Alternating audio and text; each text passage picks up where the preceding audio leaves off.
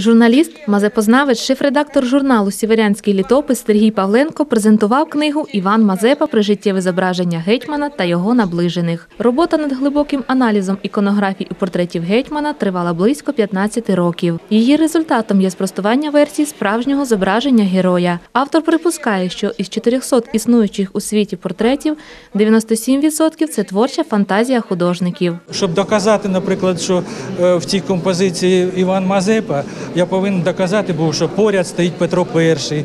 А е, для того, щоб Петра І доказати, ну я вивчав, е, як і зображували е, юного Петра І, що він ще не ну вус не мав, тому подібне. Ось такі по таких деталях відновлювалась Книга про Мазепу видана з нагоди 380-ї річниці від дня його народження. Вона увійшла до сімки кращих видань України за результатами минулого року. Для програми поповнення бібліотечних фондів ця книга була відібрана.